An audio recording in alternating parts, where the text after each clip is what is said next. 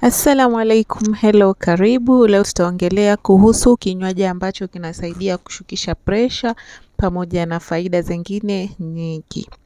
Basi kabla tuanze, ikiwa ni mgeni hapa, tafadhali sana na kuomba usubscribe, pia like hii video, inasaidia sana sana sana ukuaji wa channel yangu. Na baada ya kusubscribe, kuna kengele na kuja hapo pembeni, usiache kuigusa ili upate notification kila ninapo upload video zangu nzuri nzuri.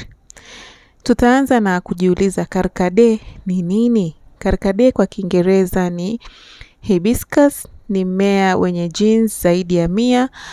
Kwa huku aina maarufu ya karkade inayotumika sana mara nyingi ni ile yenye uchachu zaidi ambayo mara nyingi hutumika kuweka kwa juisi inayojulikana kama rosella. Sana sana inawekwa kwa ile maziwa ya milkshake pia kama unajua. Basi hapo nitaweka karkade zangu kama unavyoona hapo katika video, nimezinunua. Ni nzuri sana sana sana sana. Acha tuangalie faida zake zingine. Ila aina hii ya karkade inasaidia kupambana na maradhi mingi na ina vitamin zinazosaidia kuweka mwili sawa. Ni tofauti kabisa na ile ya kuwekwa katika milkshake, lakini inayotumika ni kifaa hiki hiki. Twende moja kwa moja tuangalie faida zake. Pia vile vile zihifadhi vizuri ili zisipate hewa. Hakikisha umetayarisha kopo lako zuri na utaweka humo ndani, yaani zinauzwa very cheap na ni nzuri sana sana, haifai kukosekana nyumbani kwako kabisa kabisa. Mm -hmm. Inasaidia kupoteza weight, ina vitamini ya kutosha, husaidia shinikizo la damu, ina balance pressure. Ikiwa una pressure ya kupanda, ikiwa una pressure ya kushuka, basi utakapotumia karkade inaweka sawa mfumo wako wa pressure. Pia inasaidia kuimarisha afya ya mwili, inaua vimelea vya maradhi katika mwili wako, vile vile inasaidia kusafisha damu. Acha tuende moja kwa moja tuone vipi inatengenezwa. Katika sufuria yako utachukua karkade yako, utapima kiasi cha kijiko kimoja chakula kama hivyo hapo katika video. Na baada ya kupima kiasi cha kijiko chakula, utafuatilia na kuweka maji. E, maji utapima kiasi cha kikombe kimoja na nusu. Yaani hata kama hauna maradhi, usiache kunywa kinywaji hichi walau mara moja kwa siku ama mara mbili mpaka tatu kwa wiki.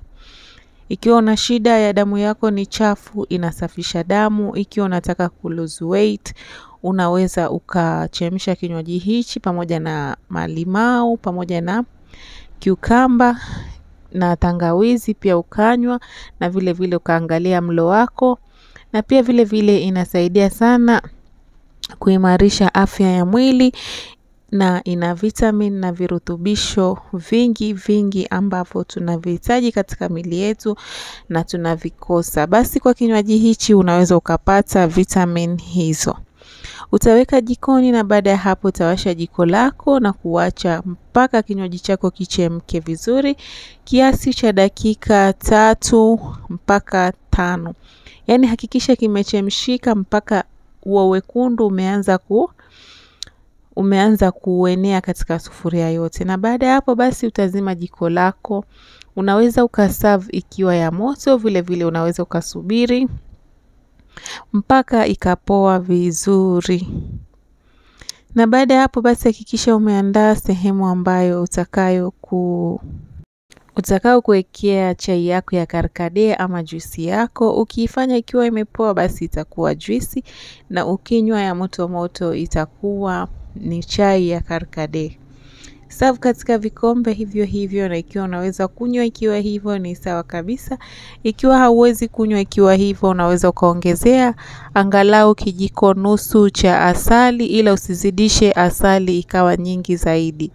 Kama unavyoona wekundu wake unatakiwa uwe kama hivyo. Basi ikiwa umeipenda video hii mpaka hapa, please mpenzi wangu mtazamaji, na kuomba usiache kuniachia like yako. Pia usiache kushare kwa wapendao, vile vile na wao waweze kujifunza. Vile vile ikiwa we ni mgeni hapa, please please na kuomba usubscribe. Baada ya kusubscribe, kuna kengele inakuja hapo pembeni, usiache kuigusa ili upate notification kila ninapo upload video zangu nzuri nzuri. Na ikiwa unafaidika basi comment hapo chini. Na baada ya hapo basi usimwage hizo karkade zako ulizokwisha kuzichemsha. Utazitoa hapo ziweke sehemu ili zipate hewa na baadaye kuzichemsha tena. Kwaherini na muwe na siku njema.